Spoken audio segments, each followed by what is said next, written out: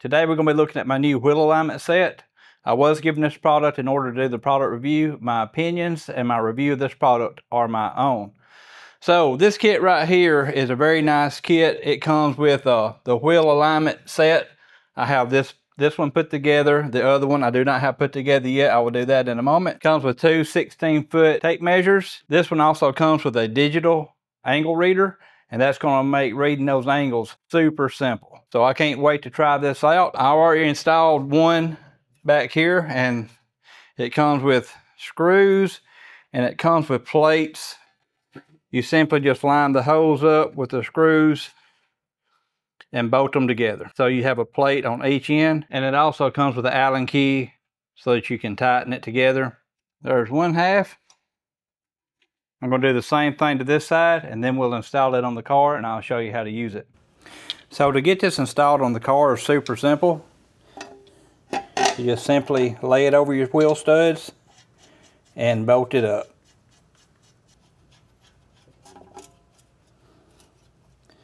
Just like that. So this right here is where the angle reader will come in. I'm going to turn the angle reader on now.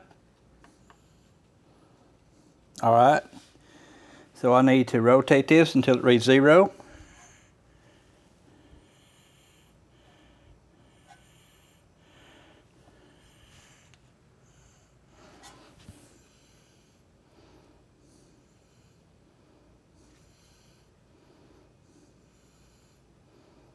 Right, almost right there.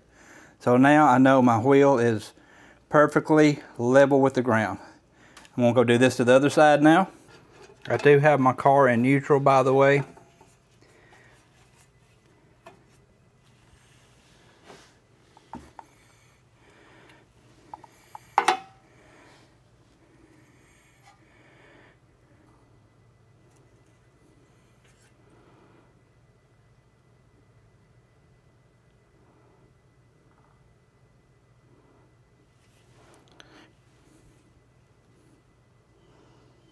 Perfect. Okay, before I do the tape measure and check my toe alignment, I'm going to check my camber. So I'm going to stick this right here. That is showing 89.85, which is good. 90 degrees would be perfect. This is allowed 0.5 degrees, so this is well within spec. Let me go check the other side now. 90 degrees on the nose. That one's absolutely perfect. So the camber on this car is almost perfect. So now let me get the tape measure out and I will check the toe in, toe out. So I've got it connected to uh, measure my toe in, my toe out. And this is how you do it. You just hook your tape measure through the gap right there. Super simple. Just like that. And I've got it on both sides.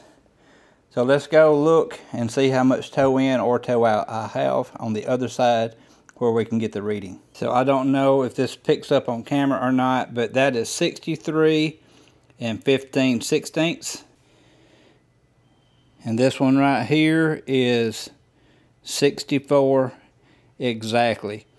That's exactly 1 16th of an inch from the front to the rear difference and that's exactly what the spec calls for, is 1 16th of an inch. Well guys, checking alignment on your car has never been easier, and this digital angle finder made it a breeze. I really like this alignment tool set. If you're looking for a way to check your car alignment and potentially align your cars yourself, this is a good kit to have, especially because it has this digital angle finder in it. Check it out. I love it, and I believe you will too.